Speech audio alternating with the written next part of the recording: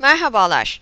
Proje dağıtım şablonları nasıl oluşturulur? Projelerimizin planlama aşamasında oluşturmuş olduğumuz proje kartlarından sonra tanımlamamız gereken bir diğer tanım dağıtım şablonlarının oluşturulması olacaktır. İlgili proje yönetimi ekranından dağıtım şablonlarına gelebileceğimiz gibi klavyemizden F10 veya diyalogusu üzerine tıklayarak da arama alanına proje dağıtım yazarak ilgili proje dağıtım şablonları ekranına ulaşabilmekteyiz. Ekranı çalıştırdığımızda karşımıza daha önceden tanımlamış olduğumuz dağıtım şablonlarının listesi gelecektir. Tanımlanan proje kartları sonrası her bir faaliyetlerin başlama ve bitiş zamanları faaliyetler arasındaki ilişkilerini gösteren dağıtım şablonlarıdır. Burada ilgili şablon tanımları F4 ekle denilerek yeni bir tanım oluşturulur. Öncelikli olarak şablonumuza bir kod belirleyebileceğimiz gibi yapacağımız projeye ait bir açıklama belirleyerek örneğin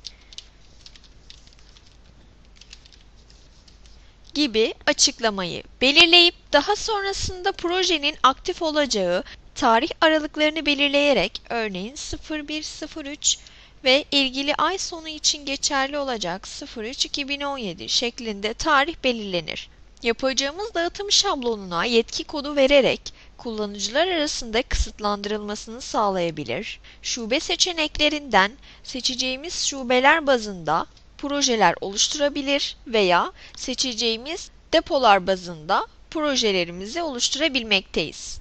Yapacağımız asıl tanımlama cari hesabı, stok kartı ve hizmet kartıdır. Şablonumuzu oluşturmada dikkate almamız gereken 3 seçeneklerden birini veya birden fazla seçeneği seçebilmekteyiz. Bunun için cari hesap listesine gelip projeye dahil olan şablonda belirleyeceğimiz tedarikçilerimizi veya müşterilerimizi belirleyerek ilgili çoktan seçim ile dağıtım şablonumuza ekleriz. Aynı zamanda belirli stok kartlarına bu şablonu uygulayabileceğimiz gibi belirli hizmet kartlarına da ilgili dağıtım şablonunu uygulayabilmekteyiz. Yapılacak bir diğer işlem dağıtım kalemlerinde yer alacak olan ve proje kartlarını tanımlamış olduğumuz ilgili kart seçimini yapmamız gerekmektedir. Listeye gelerek daha önceden tanımlanan kart seçeneklerinden bir kart belirleyip yapılacak projenin masraf merkezine de dağılması isteniliyor ise ilgili masraf merkezi seçilir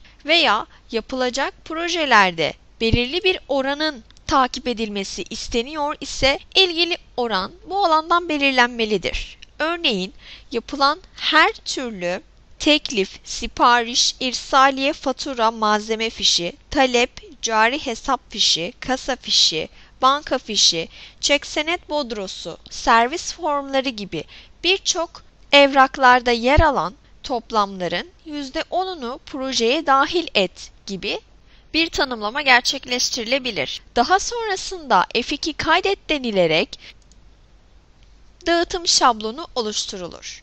Bundan sonra yapılacak işlem gerekli evraksal işlemlerin yapılıyor olmasıdır.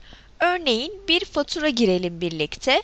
Yeni bir sekme aç denilerek fatura listesine gelip F4 ekle ile bir satış yaparak ve bu faturada cari listesinden şablon dahilindeki cari seçim yapılıp daha sonrasında bir stok belirlenerek ilgili miktar ve birim fiyatı girildikten sonra genel toplamda görmüş olduğunuz 500 TL değerinde bir satış yaptığımızı F2 kaydet dememiz durumunda tekrardan yeni bir sekme açarak proje yönetiminde bulunan proje fişlerine geldiğimizde görmüş olduğunuz gibi yapılan dağıtım şablonu dahilinde girmiş olduğumuz faturanın toplam gelirinin 500 TL olarak projemize dahil edildiği belirtilmektedir. Burada aynı zamanda tekrar geri gelerek projeler listesinde ilgili projenin Ctrl Enter veya F12 proje hareketleri altında bulunan